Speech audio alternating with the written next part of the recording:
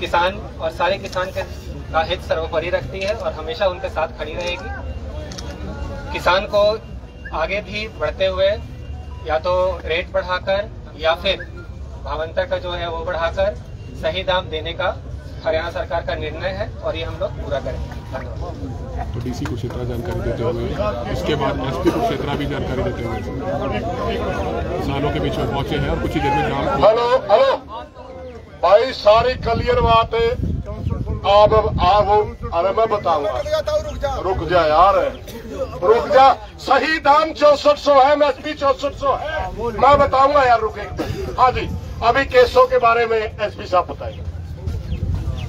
सभी को राम राम। जो कमेटी आप द्वारा बनाई गई है, काफ़ी डिटेल में उनसे ये पूरा मैटर, जितने केसेस हैं, वो डिस्कस किया गया है। और जो भी इनकी मांग है, वो मान ली गई है और किस तरह से करना है वो कमेटी को हमने स्पष्ट रूप से बता दिया। धन्यवाद। तो मांगे किसानों की मान ली गई है जिसकी जानकारी हाँ हाँ रहे हैं किसानों की मांगे मान ली गई है डीसी और एसपी किसानों के बीच में पहुँचे थे किसानों के बीच में पहुँचे थे। एक मिनट सुनो भाई। अरे भाई पिछड़ के डीसी साहब एक मिनट डीसी साहब पिछड़ के अभी एक बार फिर आपके सामने स्पष्ट रूप से डिसीज़न सर एमएसपी और अभी रुको एक किसानों के मुद्दे पर। अभी बात हमारी हुई थी सबसे पहले सही दाम का मतलब आप एमएसपी समझे। इन्फॉर्मेट करने क्योंकि काफ़ी क्लियर बातें हुई है। अब अरे रुक जाए और काफ़ी ने रोक ले हरकुल एक मिनट रुको भाई इसकी क्लियर कर देंगे हमें। दूसरी बात हुई थी कि आप एमएसपी पे बोल लेंगे आप केसों पर बोल लेंगे और उसके बाद डीसी साहब किसानों से अपील करेंगे धरना संपन्न करने की। उसके बाद हम क्लियर करके सारी बात बताएँगे डीसी साहब ने नहीं बताओ धरना प्रशासन का निवेदन है सारे किसानों से सारे लोगों से कि ये धरना समाप्त किया जाए। धन्यवाद। ये बात नहीं भी ज़ोर का बोल। ओके ओके ठीक है? ठीक है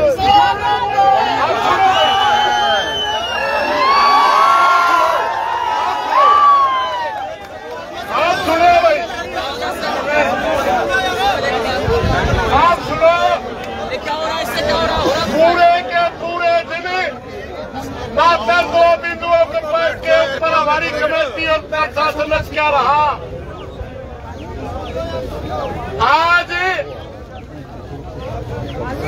एक सरकारी एजेंसी पाँच हज़ार में सूरजमुखी खरीद रही थी। और आधार पे बावनतर के नाम पर सरकार खाते में डाल रही थी। चार सौ रुपये का अंतर बचा हुआ था।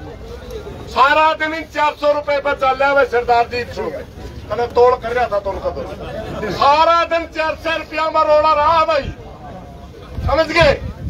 बाद में यह तय हुआ, मुख्यमंत्री का स्टेटमेंट मंगाया गया।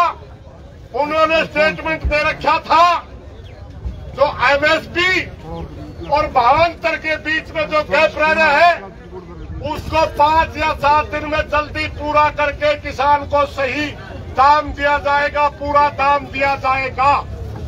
वो स्टेटमेंट मंगवा करके डीसी साहब के सामने हमने कहा आपका सीएम तो मानने में लाग रहे आप खड़े खड़े हो। तब इनका समझ में आई फिर कहने लगे हम बयान दे देंगे। या नहीं पाँच सात दिन में पूरा चौसठ सौ रुपये लोगों को भाव मिलेगा एमएसपी का सूरजमुखी का अब रही बात केसों की। हमारा इन्होंने गाड़ी तोड़ रखी है वो एसपी साहब ठीक करवा होगा ट्रैक्टर जो पकड़ रखे हैं वो सारे ट्रैक्टर छोटे जाएँगे। अम्बाड़ा के जो केस है वो वापिस होंगे। शाहबाद के जो केस है वो वापिस होंगे। और जितने भी केस चाहे कोई किसी भी किस्म का था हमारी जो सारा दिन कमेटी की मीटिंग चली केसों को बिल्कुल लिखित रूप में करम सिंह मथाना जी की अध्यक्षता में भाई संजू गुंजाना और ये जो, जो सारे जा रहे थे सारे भाइयों ने बिल्कुल बिल्कुल लिखित में एक केस केस के ऊपर डिटेल में सारी बातें करके और इन्होंने एसपी साहब ने कहा मैं सारे के सारे आपके केस निपटवा दूँगा। ये बातें हुई।